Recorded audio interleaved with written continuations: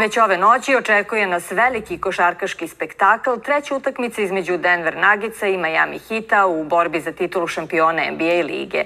Sve oči uprte su ove godine u Nikolu Jokića i Denver, ali Miami se tokom play-offa pokazao kao vrlo jak tim. O tome kakva je atmosfera pred utakmicu iz Majamija nam javlja kolega Aleksandar Žigić. Nikola Jokić i njegovi saigrači iz Denver Nuggetsa se ozbiljno pripremaju na treningu za naredni susret sa ekipom Miami Heata. Nakon što su iz Denvera došli sa rezultatom 1 prema 1, očekuju ih da utakmice u gostima. Tim koji pobedi narednih 3 od 5 utakmica osvaja šampionski pehar.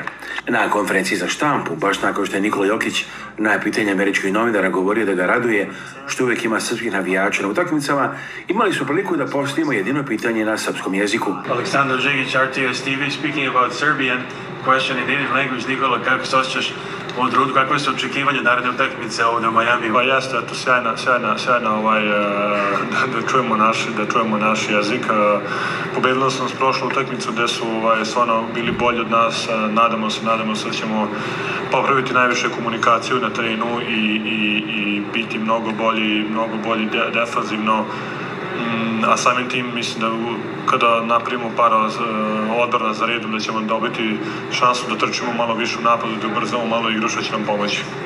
Ono što je sigurno je da će jedan Nikola iz Srbije postati šampion, a tome se nada i Nikola Jović iz ekipe Miami Heata. A, Osjećam se sjajno, osjećam se sjajno. A, uzeli smo tu drugu utakmicu tamo i to je bilo jako bitno. Sad malo smireni idemo u treću utakmicu i očekujemo pobedu naravno. Koliko bi za tim, za Miami Heat značila pobeda osvajanjem šampionske titule?